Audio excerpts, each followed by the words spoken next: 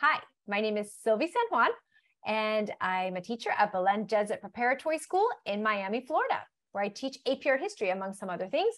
And I want to welcome you to today's AP practice session. If you want to follow along with me today, please click on the link over the video now so you can download a PDF of the question that we're going to be working on today, and you can follow along. All right, let's get started. Today, we're going to be working on FRQ1, the comparison long essay.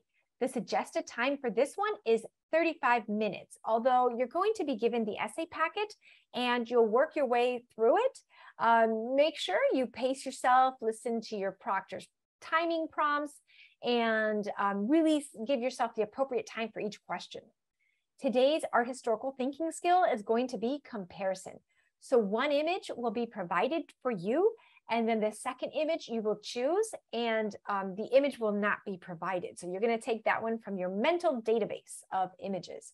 And as always, make sure that your chosen work is appropriate um, to the time period specified. And we'll look at that coming up. All right, when you see this prompt, it looks huge, but we're really gonna break it down today so you'll be able to tackle this no matter what. All right, the first thing we have to do um, once we read through and we learn about what artwork is provided to us, is to select and completely identify another work that references or depicts a specific religious narrative in a way designed to elicit an emotional response.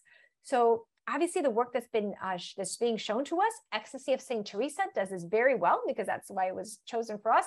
And then the works that you see below on the list, those are also very appropriate choices. That's why I always tell my students stick to the list if you can. Um, if you decide to go off list, make sure that you read the prompt really carefully because oftentimes there's going to be a particular period that is specified for you. In this case, it says early Europe and the colonial Americas. So you need to make sure that your sample, your example artwork is from this time period. Next, we need to describe the content of the religious narrative that is referenced in both of the works, the one that is given to us and the one that we choose. Then next, using specific visual evidence from both works, we need to explain at least one similarity and or one difference in how the two works represent the religious narrative. So here we are using supporting evidence from each work to earn our task points. Okay, now this next one that's in purple, this is a task point that I want you to be really, really aware of and look for this one so that you can definitely earn it. Now, this is a claim or a thesis statement, and I know it's a little bit of a strange place to find it in the middle of the essay, but we need to make that claim here for task six and then support it with contextual evidence as we're required to do here or visual evidence. This one gives us a choice from both the ecstasy of St. Teresa and our selected work in the explanation. So we can pick um, whether it's visual or contextual, but we need to provide supporting evidence from each work to earn tasks seven and eight. And here are our choices. Try and pick one of those if you can.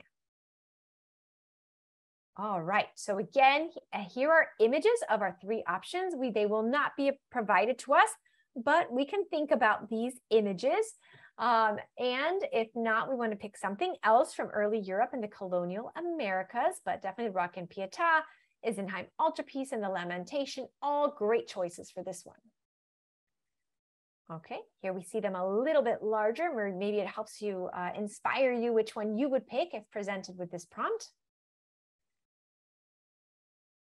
And we need to make sure it has a specific religious narrative and it elicits an emotional response. Okay, so for task one, remember that you need to provide identifying information. And this is two identifiers beyond the prompt.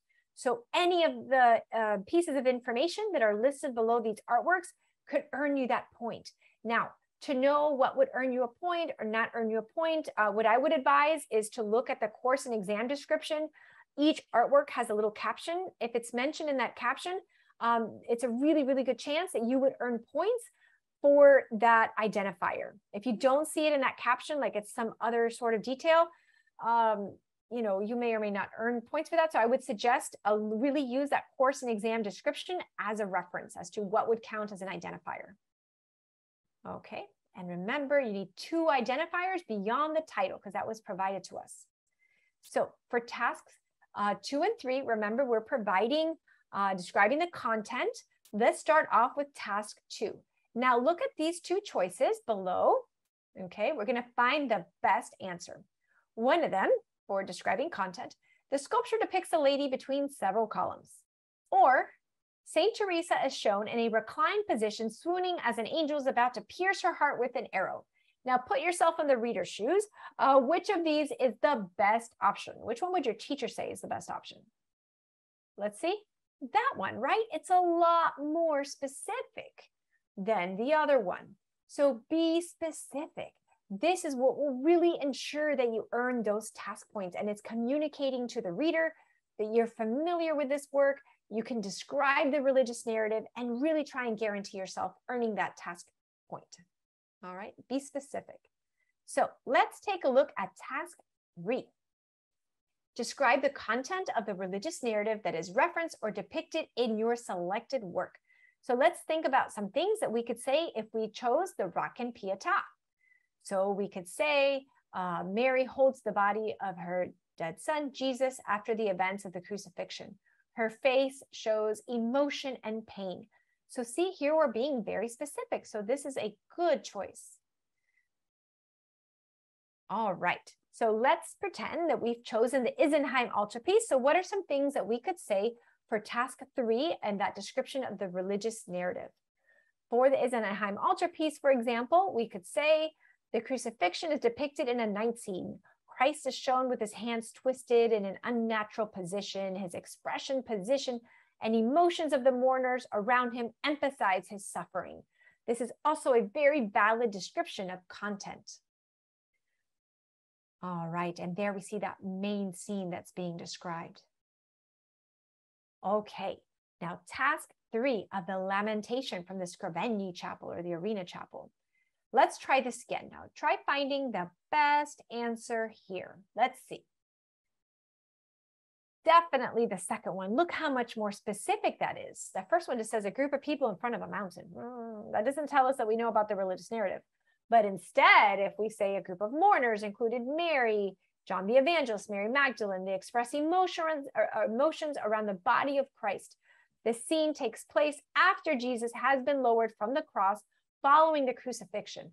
This is way more specific and it lets us know that we know about the religious narrative that's being shown.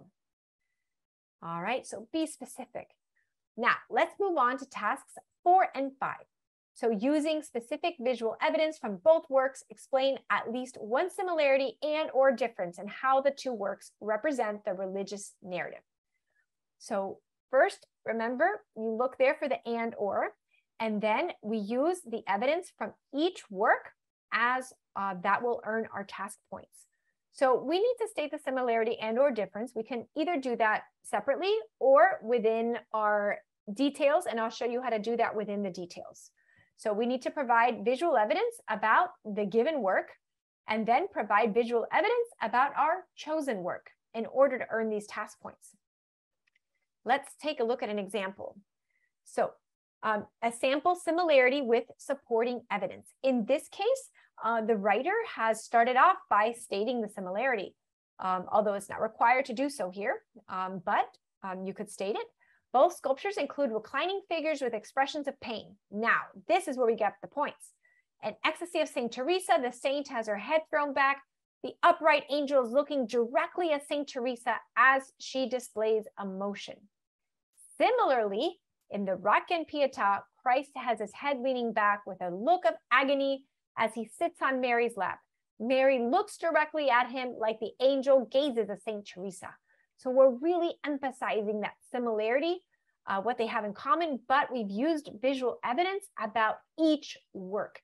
And that's where we're earning the point. Visual evidence about the ecstasy of St. Teresa, visual evidence about the Rondanini Pietà. Okay. This case was a similarity. Now, Let's take a look at a sample difference with some supporting evidence using the Isenheim altarpiece. In the Isenheim altarpiece, Christ's skin has numerous cuts and his body appears to be an unnatural greenish gray hue. His body demonstrates evidence of physical torment he endured through the bleeding wounds and the crown of thorns. St. Teresa is experiencing psychological pain, so her body is intact. Rays of light are visible in the background in the sculpture rather than the instruments of suffering like the cross and the crown of thorns, which can be seen in the Isenheim altarpiece. So we don't need a separate sentence for tasks four or five. Uh, providing the visual evidence of each has established that difference. Okay, one is focusing on the physical torment and the other one on the psychological pain. So we've really hit both of them here and established a difference. Okay, and here's a difference uh, for the lamentation. Um, the Ecstasy of St. Teresa depicts an intimate scene of the angel and the saint with an otherworldly setting bordered by columns. Spectators, including members of the Cornaro family, the patrons of the work, observe the religious scene from seats on either side of the sculpture. So see, we're specific, it's visual, it could definitely earn us the point. In the Lamentation, a large group of figures surround Christ in an outdoor setting.